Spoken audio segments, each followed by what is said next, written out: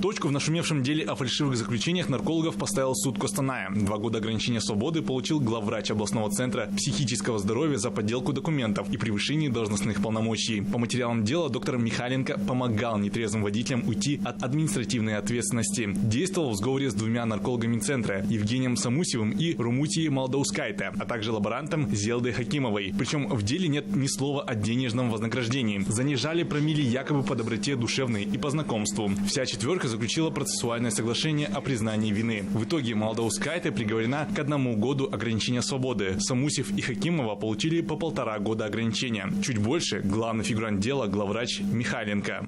Михаленко Владимира Алексеевича признать виновным в совершении правонарушений, предусмотренных статьями 361 частью 1, 28 частью 3, 385 частью 2 Уголовного кодекса Республики Казахстан. Окончательно назначить два года ограничения свободы с пожизненным лишением права занимать должности на государственной службе